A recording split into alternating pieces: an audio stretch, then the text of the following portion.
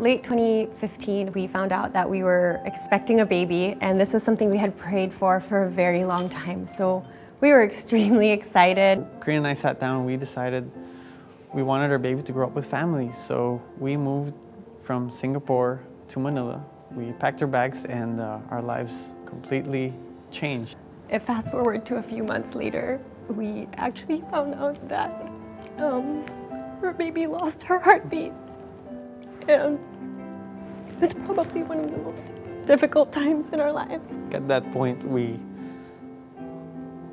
we felt our whole world fell apart. I was five months pregnant at that time and um, I gave birth to a stillborn baby girl. Um, and as beautiful as she was, um, it wasn't it wasn't what we had looked forward to all these years. I was holding um, our baby who we named Celine Gabrielle in my arms. And I can remember very clearly, all I could see was this child that God gave us. And uh, God chose us to be parents of this child. And there was peace in that moment and hope and that it's okay because God is with us.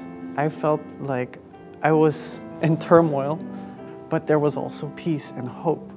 There was sadness and deep sorrow, but there was also joy, all at the same time.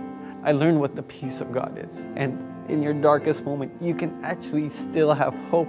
It was extremely painful, but what I can say now is that God makes all things beautiful. And amid some of those darkest nights, God was our strength and God was our sense of hope. And if not for that, I really don't know how we would have made it through. We're ending this year with just a renewed sense of hope. The pain is still there Yeah. this Christmas. Uh, it's, a, it's different from what we were planning and we were It's not expecting. the Christmas we were hoping for. It looks completely different. We can believe for a baby again. I think we're looking forward to all the children that God would give us, um, that He would bless us with more children in the future, and we know that's coming. There have been these glimmers of exciting things that have happened over the last few months work-wise. Just the possibility of maybe starting ROHEI or Kose in Manila. It's a reminder to us that we can hope again, that we can look to the future knowing that there are good things ahead. So this Christmas is really an exciting one for us. There is this sense of joy and hope amidst everything that's happened this last year.